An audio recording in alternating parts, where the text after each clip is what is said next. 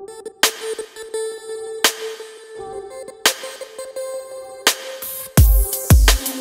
everyone, so welcome back to Basil's Physics Classroom. So in the last class, we were learning about reflection, refraction, and inside refraction we learned about the real depth and apparent depth concepts and also about the glass slab concept, right? In today's class, we're going to learn about prism. We're going to learn about prism, okay? So let me draw a small prism here. I hope this is clear for you. A small prism I'm drawing here right? Now, this A I have marked here and that A is known as the angle of the prism. A is known as the angle of the prism. A light is incident at a certain angle and I'm drawing the normal here.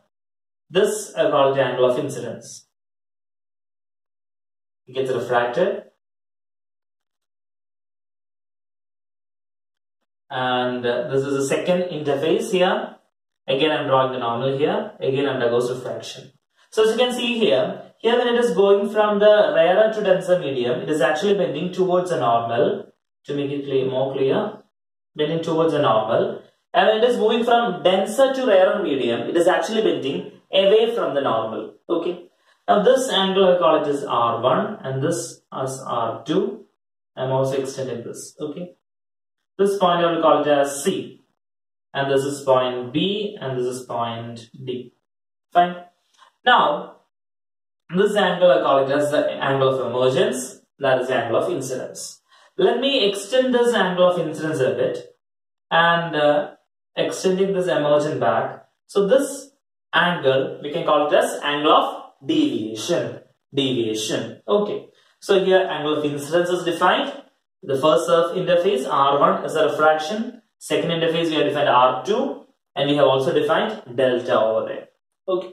Now, let us go a bit more deeper and learn what is happening there inside a prism. Okay. Now, consider the ABCD portion there. What is that? That's a cyclic quadrilateral, right? So considering ABCD, one thing is very clear. Based on the concepts of cyclic quadrilateral, we can write a, that is the angle A, plus the angle C should be equal to what? 180 degree. Angle A plus angle C should be 180 degree. Fine. Now, from here, as you can see, R1, R2 and C. BDC actually is a triangle, right? And we know that the total sum of the angles of a triangle is what? 180 degree. So we can write R1 plus R2 plus C is equal to 180. Fine. Let me substitute this condition over here. So you'll be getting R1 plus R2 plus C is equal to A plus C. Substituting this here. Right. So you get C and C goes. First condition you have to remember here in case of prism. R1 plus R2 equal to A which is the angle of the prism. Please remember this. I am writing it here. R1 plus R2 is equal to A. The first very important condition you have to remember. Okay. Now, let's go and find out what is our delta, the angle of deviation. So, from the here, this is actually angle I, right? So, this total should be what? The total should be again I. If the total angle is I and this is R1, that implies this angle should be I minus R1. Okay, that should be I minus R1. Now, similarly, here you can write this, this is angle of emergence, right? So the total should be what? The total should be E itself, vertically opposite angles. So what should be this angle? This angle should be E minus R2. Now look at this triangle. I'll call this point as E. Triangle BC, BDE. Triangle BDE. When I look at triangle BDE, delta which is the external angle there. And now we know that external angle is actually equal to sum of the interior opposite angles, right? So we can say this delta is actually equal to I minus R1 plus this one. What is that? E minus R2. So we can write delta is equal to I minus R1 plus E minus R2. Or this is I plus E minus of R1 plus R2. And what is R1 plus R2? It is A, right? So delta is equal to I plus E minus A. The second very important condition you have to remember. Delta is equal to I plus E minus A. Let me write, also write that here. Delta is equal to I plus E minus A. Alright. So we have wrote two conditions, one for delta and the other for combine uh, for the for the angle of refraction there. Right. So now using these two conditions and based on Snell's law, I'm going to find out what is the refractive index of this prism. Well, we call the refractive index of this prism as n. Right. So from Snell's law of refraction, we can write n is equal to sine i by sine r n is equal to sin i by sin r. Okay. At minimum deviation, at angle of minimum deviation, on the screen you can see a curve related with minimum deviation. At minimum deviation, we can say that the angle of incidence and the angle of emergence will be equal. So minimum deviation is obtained when? When the angle of incidence and the angle of emergence is equal. At minimum deviation, we can write the second equation can be written like this. Delta is equal to 2i minus a. Or what do you get? i is equal to delta, minimum deviation, right? Delta minimum. And plus a by 2. So you got what is i for this, right? And one more thing, if i is equal to e, we can say that r1 should be equal to r2. Therefore, at minimum deviation, R1 will be equal to R2. Therefore, this equation we can write 2R is equal to, this is equal to R, general, okay, is equal to A or R is equal to A by 2. So we're getting what is R and we're getting what is I. Substitute both those conditions here. So you get N is equal to sine of delta M. What is delta M? Minimum deviation, right? Plus a by 2 divided by sine a by 2. So sine of delta m plus a, delta m is the minimum deviation. Sometimes in your book you will also see it as capital D. Okay. So delta m plus a by 2 divided by sine a by 2. Now suppose we are uh, dealing with a very thin prism. If we are dealing with a thin prism means we know that thin prism means angle A will be small. If theta is very small, sine theta is approximately theta, right? So this equation can be written like this, n is equal to, or if you want to use mu, you can use that, okay, no problem. Okay, so n is equal to delta m plus a by 2 by a by 2. Why? Because when, when theta is very small, sine theta is approximately theta. Okay. Now 2 and 2 cancel. So what do you get from here? an is equal to delta m plus a or delta m is equal to, take this over here, you get, what do you get? n minus 1 into a. So when the angle is a thin prism we are considering, we can write the angle of minimum deviation delta m. The angle of deviation is equal to n minus 1 into a. Angle of minimum deviation is n minus 1 into a. Okay, so in case of a thin prism, this is a condition. Okay, now one more condition you have to learn here is about the case of no emergence. So no emergence means, no emergence means once a ray is incident at the second interface of the refracting surface, it gets reflected back into the same medium. What happens? It is getting reflected back into the same medium. If it is getting reflected back into the same medium, that means a total internal reflection has taken place there. What has taken place? A total internal reflection. Okay, so if you don't know what is total internal reflection, I have provided the link in the description. Please do and watch it. Okay, so total internal reflection has taken place here. And the condition for this to happen is the refractive index mu or n because we are using n here should be greater than 1 by sine A. So no emergence condition occurs when the refractive index is greater than 1 by sine A. Okay, so please do remember this condition of no emergence also. Right? Clear? Okay. Now let's move on to the condition for dispersion from a prism. Dispersion. Now I'm very sure that you have heard the term dispersion, right? What do you mean by dispersion? Dispersion is actually the splitting of light into its component colors. It is a splitting of light into its component colors. Okay. So when a light is white light is passing moving through a prism or passing through a prism, it actually gets separated into its component colors. So here we define a term known as angular dispersion. What is it called? Angular dispersion. Now angular dispersion means it is actually the angular separation between the extreme colors.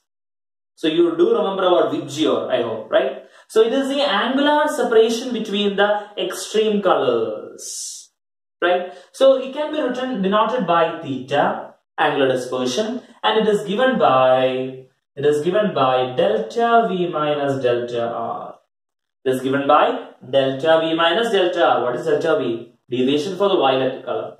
Delta V, deviation for the red color. Also, we already know that what is delta for thin angle prism delta is n minus 1 into a, right? We can substitute it over here. Okay, instead of n, I'm going to use the letter mu.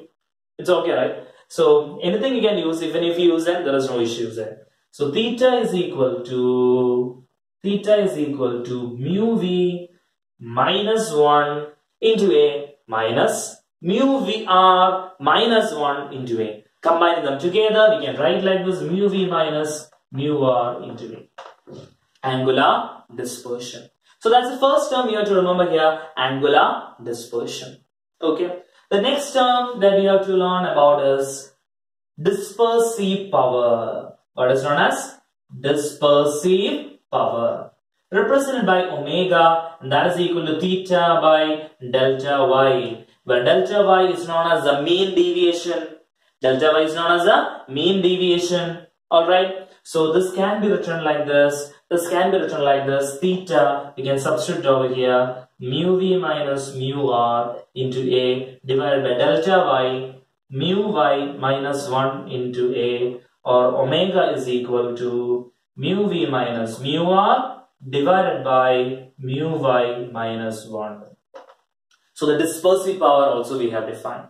So define dispersion which is the splitting of light into its component colors and we have learned about angular dispersion and about the dispersive power. Alright. Now in addition to these we have to learn about two different conditions. The first condition we call it the first condition we call it dispersion without deviation. What is it? Dispersion without deviation dispersion without deviation. Now dispersion without deviation. To obtain this condition what we are doing is we will be using two prisms which are kept inverted like this. So without deviation means there is no deviation taking place there. Meaning when we are using uh, say the mean deviation of uh, delta y, when we are considering the mean deviation y, the deviation from this will be annulled by the deviation due to this. Which means the total deviation will correspond to what? 0. Total deviation will correspond to 0. Therefore, we can write like this. From the first prism, from the first prism when the light is uh, coming in, delta y. That will correspond to, what is delta y correspond to? Mu y minus 1 into a. Fine. From the second prism, delta y dash is equal to mu y dash minus 1 into a. Okay, we know the total deviation is what? 0. So this plus this should be equal to 0. This plus this should be equal to 0. So first prism angle is A, the other one is A dash. Fine. So we can write that as this mu y minus 1 into A is equal to mu y dash minus 1 into A dash. Is it clear? This plus this is equal to 0 and taking one term to the other side, there will also be a minus sign here. Okay, so here we can write like this. A dash by A will be equal to minus A I'm taking here. So minus of mu y minus 1 by mu y dash minus 1.